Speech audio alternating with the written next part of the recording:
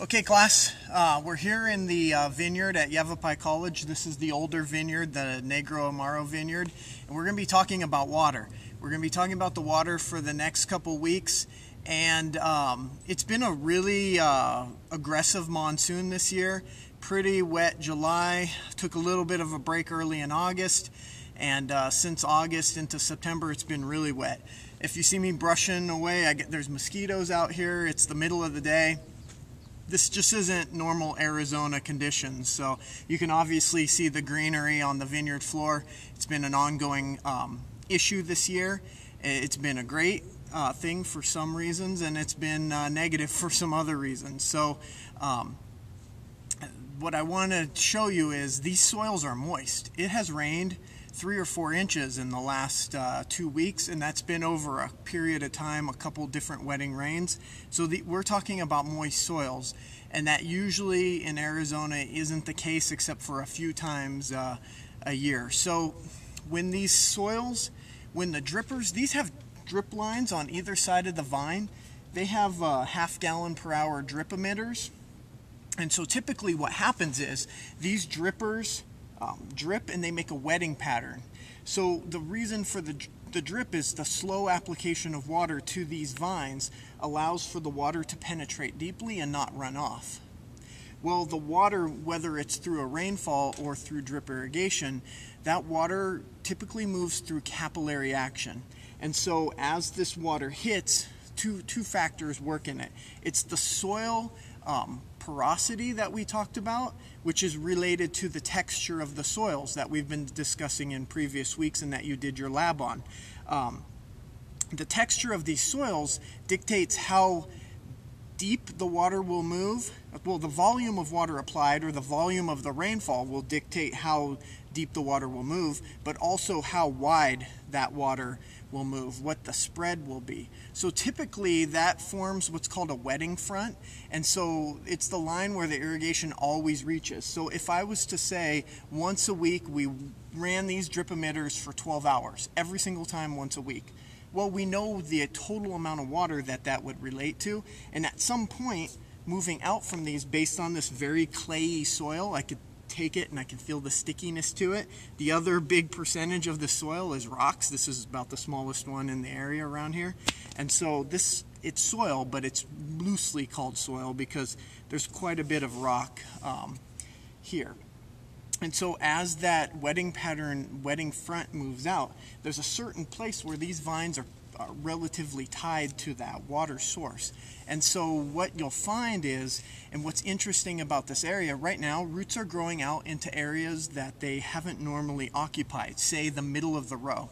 In other areas of the world where they grow grapes, um, obviously they grow grapes in a lot of dry regions of the world, but um, what I would pose to you guys is, are these vines roots out in the middle of the aisle and I would say they aren't. If we were to dig up this vine what we would find is that the roots are growing in and amongst that wetting front where that wetting pattern is for these emitters. Now we could increase that by running for longer durations. We could possibly get that water to move down deep but um, I, I really think we're limited and a lot of times application rates of fertilizer, application rates of insecticides and such that are going to be applied through the irrigation system are measured based on a per acre size. So this is about an acre and so it'd be easy to say uh, we need to fertilize one acre of vines and it requires this many pounds of nitrogen, phosphate, potassium, whatever that product is. If we're going to soil apply,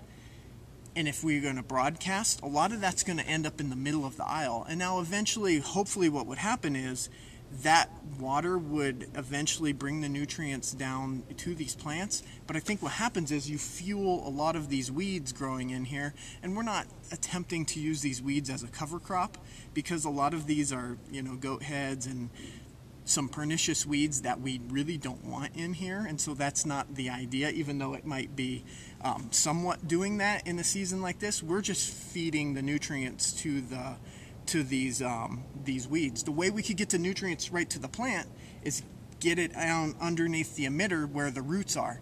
And so I just want to mention that. It's kind of an interesting uh, side note to what we're talking about this week, and I think it really applies to uh, growing crops in this area. Another factor is um, coarse material underlying this parent material. If we were to get to a rock layer underneath here, you get almost what's called a perched water table. A perched water table has to do with the um, ability for the water to move through. And when you have uh, soil layers, it could be a gravel layer, it could be a sandy layer, it could just be moving from a clay soil to a more sandier soil or to a loam. What happens is the water builds up on top of that. It doesn't want to move down into that next layer, and you get all the water and moisture moving laterally above that. Now this this soil is really poor. I would um, I put some soil probes in here. I was barely able to get most of them 10 to 16 inches at the most. And so I'm guessing these roots on these vines aren't much deeper than that. Um, so this this happens a lot this capillary movement i in my greenhouse growing classes we grow poinsettias poinsettias you don't want full water on the foliage for disease sake and for nutrient um, sake, you want everything going to the roots and you don't want to mess up the bracts that are turning red. And so we put plants um, with holes in the bottom of the pots onto a mat that's a capillary mat. We flood out water on the capillary mat that goes out about a half an inch deep.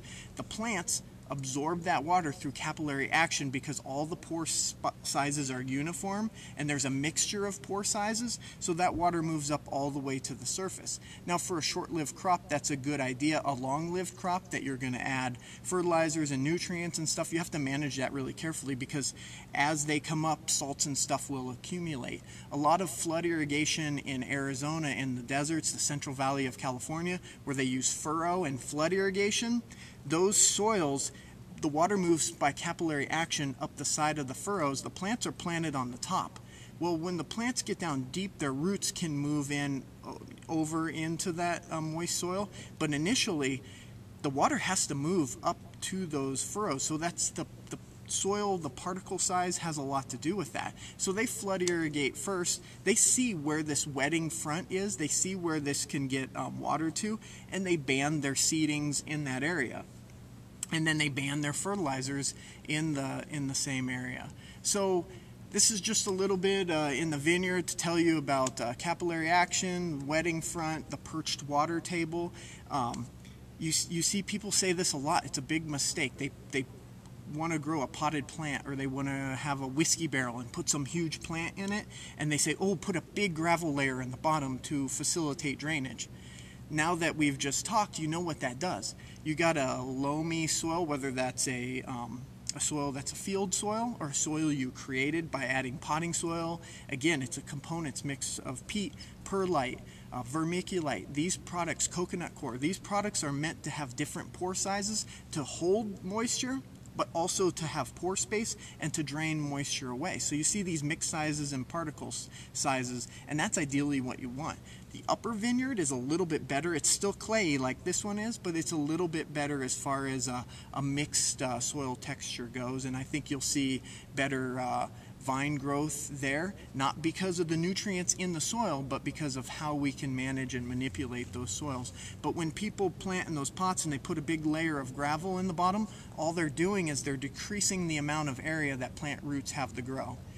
If you add enough water, and gravity will then break that potential and the water will then move down through it but a lot of times it's bringing the material from above it with it and it's kind of like a mini flash flood in your in your barrel. So if you were to mix in gravel and sand, but have it phase in, that's a better situation for, for getting the drainage that you want instead of creating that perched water table. All right, guys, have a good week uh, with your studies.